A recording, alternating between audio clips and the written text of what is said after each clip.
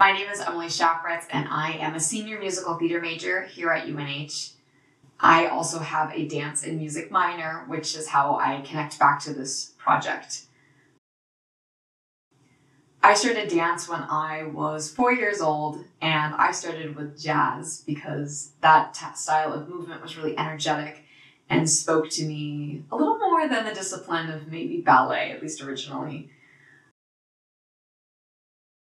So for me, socially, um, I've always identified as a dancer from a very young age. I may be a musical theater major, but I would say that my um, out of kind of the three disciplines within that of, of singing or music, acting, and then dancing, they call it the triple threat. That for me, dance is the one that I connect with the most. Um, dance is one of the most genuine expressions of self that includes all of yourself. It is such a kinesthetic experience that it can be really cathartic and liberating. You're really gonna you're gonna touch people that audience is to connect with that art form and they're to they're to see it in a way that they probably wouldn't have if they were just told about it or saw a clip of an incident and we are creating that bond with an audience that um, even if it's not live in this case it's through video is still something that that isn't really replicated in pretty much any other form it's really special I think that um, dance is one of the most universal forms, as in, um, it's not it's not something that needs to be spoken. When we're teaching, we'll use words to explain the movement, but it's it's watching, it's doing and then watching and then trying it yourself. It doesn't matter really your experience level or what background you come from. I firmly believe that everybody can move their body. You know, it doesn't it doesn't have to be a level of like high intensity but you know i think dance is for everyone and that is something that can bridge um, a gap. I think arts is one of the best ways to bridge that gap whether like no matter what background you come from or like how old you are the arts really do bring people together. And through movement and through empathy no matter what your political background is that is something that you you can come together and and learn from each other and experience you're watching a movement and and the human experience is so universal that if we are really being authentic to ourselves and our performance and that movement reflects that you the viewer will see that and will have that connection there's there's no language barrier when it comes to dance. Um, movement is so universal, and and music to an extent also carries a lot of those qualities.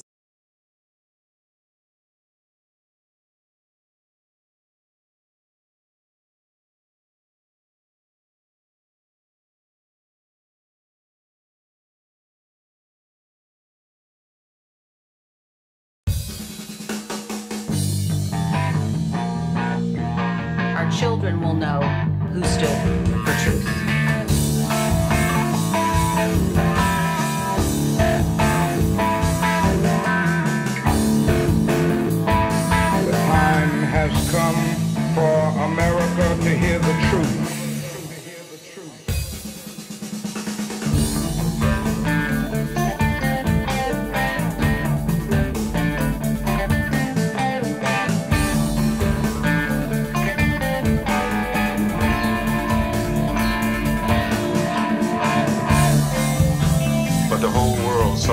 Reality of what happened on January 6th. The hangman's gallows sitting out there on our nation's mall. The hatred, the bigotry, the violence, and all of it for a vile, vile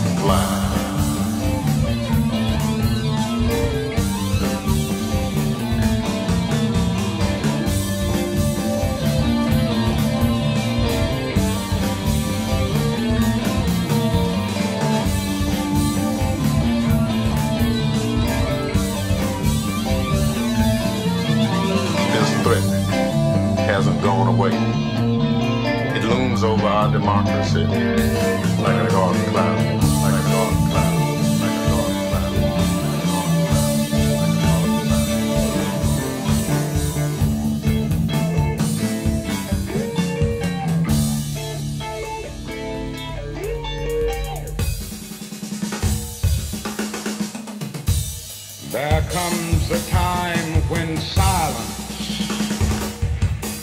betrayal.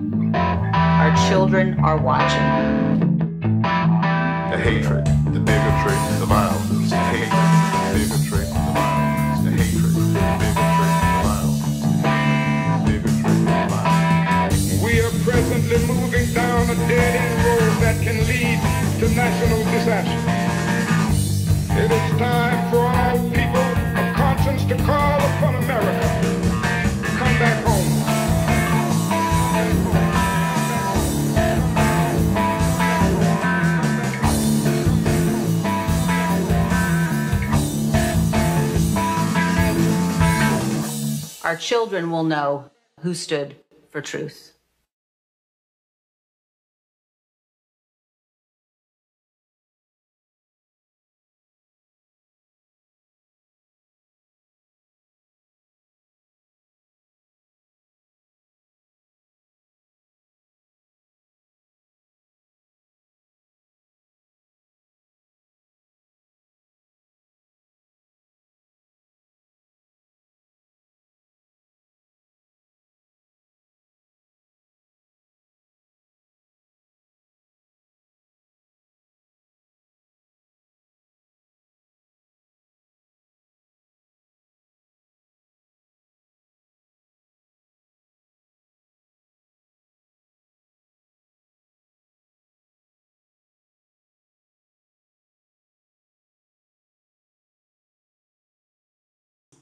So this piece is called Come Back Home and it features a bunch of audio clips from a bunch of speakers commenting on the insurrection on January 6th as well as a call to action about the importance of not being um, bipartisan in world events and being an active participant in social justice and change for the better. Um, in this piece, definitely look out for the moment of total ignorance and sitting in bias where one person gets up and covers their ears. There's a Martin Luther King quote that goes along with it, which says, There comes a time when silence is betrayal. And you will see that moment of that individual walking away from people who are reaching out their hands for that help and the total disengagement. Also, keep an eye out for at the end when there's a call to action and the whole group comes back together and they stand for justice and they have shown up and are ready to be a part of the conversation.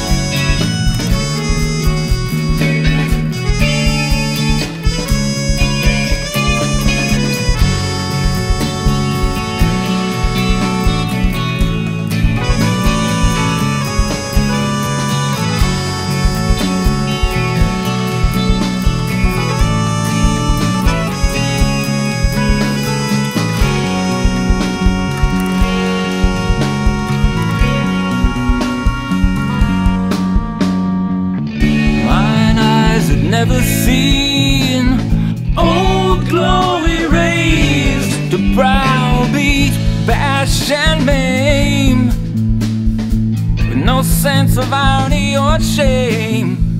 And I'd never seen fury, wrath, and rage.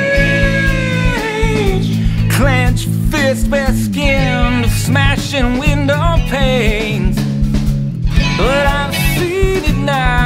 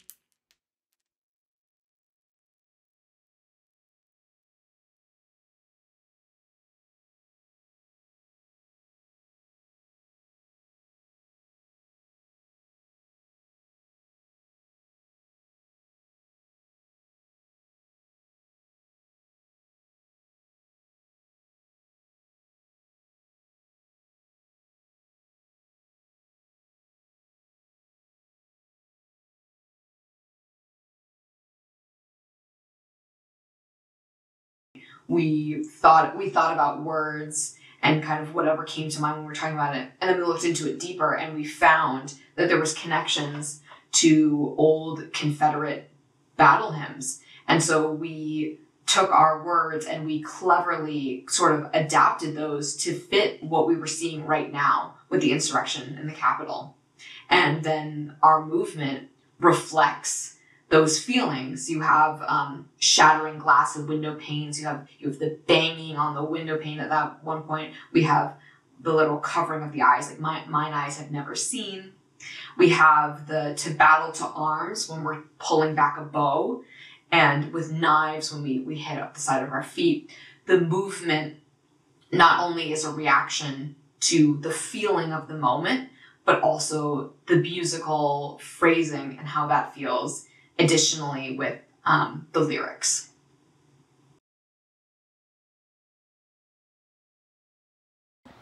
Just, just a moment ago, I read an article by a Jewish woman who says, For us, anti Semitism is not a matter of having friends. Yeah? For us, anti Semitism is a constant subground river. We hear it uh, rumbling, hum- go, rolling along all the time. Yeah. And uh, Germany isn't the only place where that happens.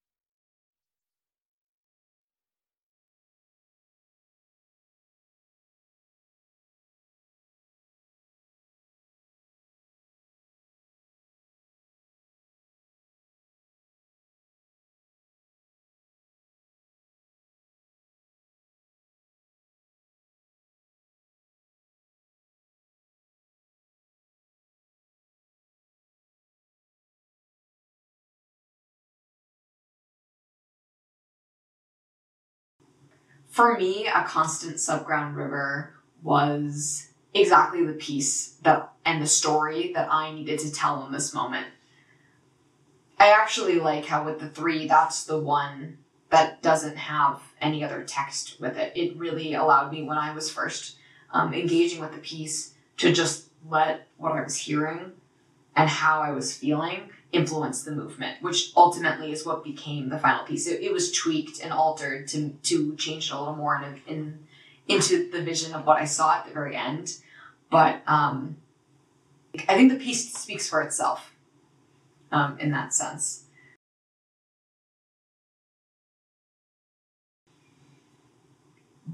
Racism and sexism and um, the other crimes against other like religious groups and, and Muslims and Asians are happening and are still very like important problems. But we've just thought that because, you know, Holocaust happened, World War II happened, and that it's over now, that anti Semitism just doesn't exist. That it is not something that's still present, but it is. A Constant Subground River is a piece that talks about the ever presence of anti Semitism and that struggle that is still there under the surface, even if it isn't always in your face and super loud.